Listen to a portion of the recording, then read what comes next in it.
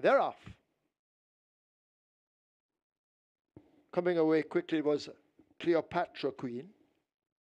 Riches to rags right alongside. Train of thought racing widest of them all. Rockola hugs the rail as they go flashing past the mile.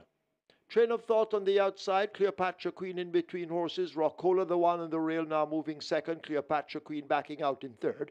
Riches to Rags is racing in fourth as they go slipping past the seven. A break of five to King Pie, Shooting Star right alongside, Brenda Boys next, then we have Chesney, and at the back of the field it's a Solar Black as they take the back stretch proper and make their way flashing past the six. Train of thought leads them by some three lengths. Cleopatra Queen on the outside of Rockola, just the neck separates those.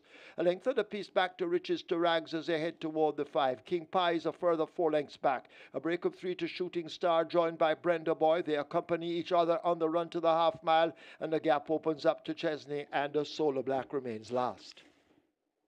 They're approaching now the far turn and the half mile pole. They're beginning to group up on the lead. Train of thought, just the leader. Riches to Rag still on the premises. Rockola is there. Shooting Star is left out of it as they go flashing past the 716th. And it is a train of thought. Here is King Pie now kicking in on the outside. Also beginning to make some steady ground. That appears to be Brenda Boy as they come now thundering up past the 516th. King Pie racing down against rail will come into that lane. Harassed all the while by Brenda Boy, who was quickened on the outside. It is King Pie, the rider, having a look over his shoulder. Brenda Boy is the main danger. Riches to Rags has been switched toward the outside, and still King Pie maintains the lead. Brenda Boy maintains pressure, but King Pie continues to hold the advantage by maybe two lengths, flashing past the furlong pole. It is King Pie and Raddesh Roman. They'll arrive at the final 16th with a two length lead. Brenda Boy trying to cut into it, but can't.